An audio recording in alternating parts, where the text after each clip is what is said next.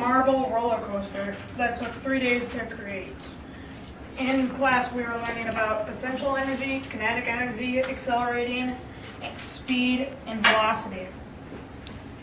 This is potential energy, and the definition of that is energy stored in an object or material.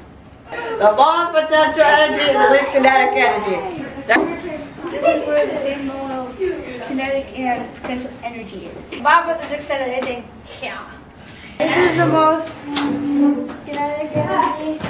Kinetic energy, and the definition is a energy of a moving object. The average speed for this section is 0.99 seconds. Where the marble changes in velocity.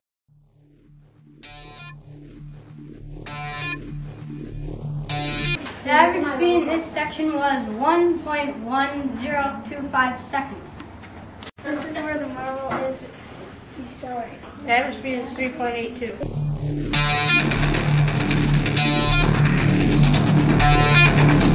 The average speed for this section was 2.06 repeating seconds. Where the marble is going the slowest down the ramp.